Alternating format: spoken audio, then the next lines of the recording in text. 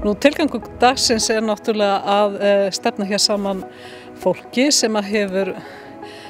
beina og óbeina aðkomi að háskólan og byrjast og, og reyna að spá svolítið í spilin uh, hvert við stefnum í framtíðinni. Ég held að það sé mjög mikilvægt að háskólan og byrjast uh, sé mjög afgerandi hvað var það sitt hlutverk með íslenska háskóla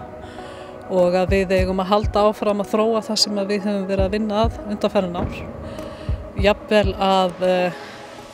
sækjast eftir frekari samstarfi við aðra háskóla, Íslanda, íslenska sem erlenda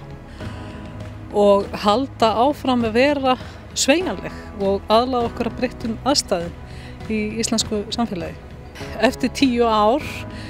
eh, tel ég að háskó, háskólinn og byðröst muni áfram að gegna sín hlutverki hvort sem það er sem sjálfstæður háskóli eða þá hluti af stærri einingu eða í samstarfi við fleiri háskóla þá undir kannski einhvers konar reglíf.